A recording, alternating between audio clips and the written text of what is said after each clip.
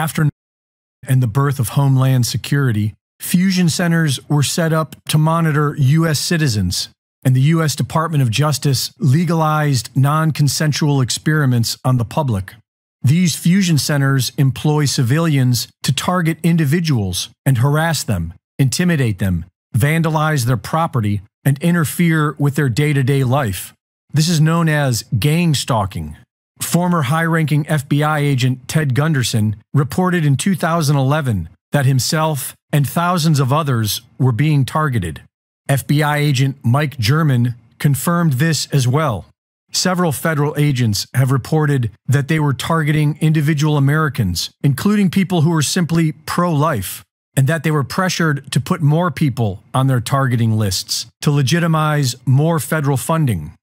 These Homeland Security fusion centers are able to put any American citizen on the watch list without any reason or due process.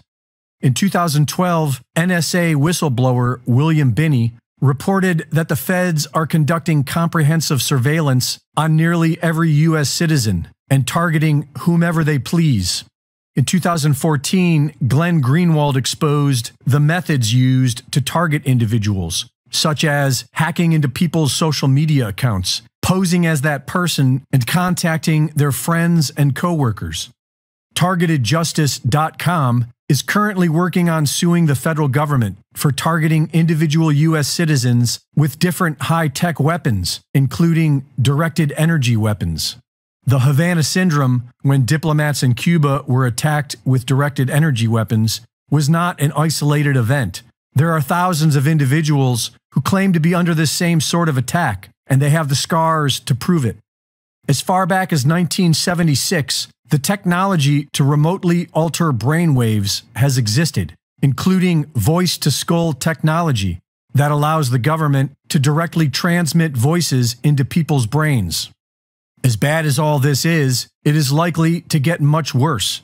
In 2017, Dr. James Giordano gave a lecture on the latest government technologies to target individuals, such as neuroweapons to control brain function and modify memories. I'm looking to target key individuals who may then be influential to relative aspects of their representative groups. I can affect individuals' brain functions in a variety of different ways, both positively and negatively, by engaging or disengaging nodes and networks of the brain that therefore affect their cognitions, emotions, and ultimately their behaviors. Something my colleague Jamie Canton likes to play with an awful lot is the idea of specialized neural operations. And here, once again, we're talking about the use of either drugs and or devices to modify the integrity of brain function that we realize can also modify individuals' perception of time and space. We talked earlier about how these may be used in interrogation scenarios, and this too may be used against key individuals to be able to modify their perception of time, their perception of what occurred and what did not, memory modification, etc. Nanoparticulates that can give an individual a stroke. So, what we're able to do here is infiltrate the brain space with nanoparticulate matter that aggregates in situ, on site in the brain. And does one of two things either penetrates from the vascular space, gets in through the bloodstream, gets in through the nose, through the mucosa, or infiltrates the vascular space and clogs it. What is the result? What's called a nanoparticulate stroke or a hemorrhagic diathesis, fancy word, for it's a predisposition to individuals having brain bleeds. He explains how they can make people sick with an undetectable illness to make them go crazy. What I'm doing is I'm using a dispersion methodology to be able to infect sentinel cases with a highly morbid condition. These individuals complain. Again, this is a central nervous system condition. So they're complaining of whatever the bug may do. It'll produce some cascade of neurological and neuropsychiatric signs and symptoms. What I've now done is I've got every individual who is diagnostically hypochondriacal, and I've got every individual who's the worried well flooding the public health system, banging on the door. The CDC comes back and says, nonsense, that's not real. I come back and say, that's fake news. He says they can already control insects. I infiltrate that bug's nervous system and I control the way it moves. By controlling the way it moves, I control the way it goes. I control its wings pattern. I control where it hovers, where it flies, where it articulates. And what I can also do is I can then couple this to a very, very small scale set of either biosensors or cameras. And what I basically have here is a biodrone. I can go one step further and I can also impregnate that individual, that individual organism, with a very small scale weaponizable delivery mode. In other words, if I'm using a very, very small scale bio such as a very potent organotoxin or the delivery of a very small level of microbes that we know can either replicate and infect or is genetically modified to have a very, very high morbidity effect, I can then utilize this not only as a reconnaissance drone, but also as an infiltrative weaponizable drone that can then deliver some payload. Immediately following the death of Nikola Tesla, Dr. John Trump an electrical engineer with the National Defense Research Committee of the Office of Scientific Research and Development, and interestingly, President Donald Trump's uncle, was called in to analyze the Tesla papers. After only three days, John Trump officially concluded that Tesla's work was primarily speculative and did not include workable methods. We are then told that most of Tesla's papers disappeared but his work most definitely quietly continued.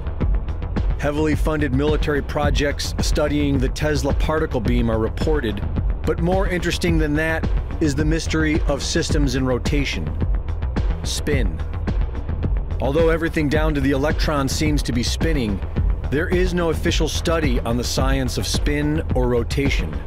But there are fragments and clues that suggest major governments have been secretly studying the science of rotation ever since World War II, calling it hyperdimensional physics or torsion physics.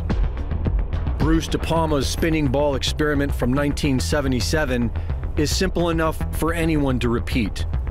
Two steel balls are repeatedly launched with equal force. One is spinning, the other is not. The spinning ball consistently flies higher and falls faster than the other. This is in direct violation of both Newton's laws and Einstein's relativity. Modern science cannot account for this energy. The top secret so called Nazi Bell project allegedly involved two counter rotating cylinders and produced anti gravity UFO like effects. And now the US Navy appears to be going public with this science. They claim to control inventions that change the fabric of reality. A mysterious Dr. Salvatore Cezar Pais has filed four patents, of which the US Navy is the assignee.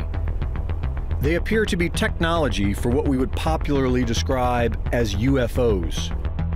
And they are all based upon harvesting energy from the spinning of electromagnetic fields. These patents look very similar to what whistleblowers claim have been in production for years by weapon manufacturers such as Lockheed Martin Skunk Works. The same UFO-like craft that whistleblowers claim are being prepared to stage a fake alien invasion. After decades of deep misinformation, secrecy, and corruption, why bring this powerful technology out into the open today? The chief technical officer of the Naval Aviation Enterprise claims that the U.S. needs these patents because the Chinese are already investing significantly in these technologies. So, are they rolling all this out into the public to prepare us for a space age war with China? The subtext to all this, of course, is that there is no energy crisis, only more lies and deceit.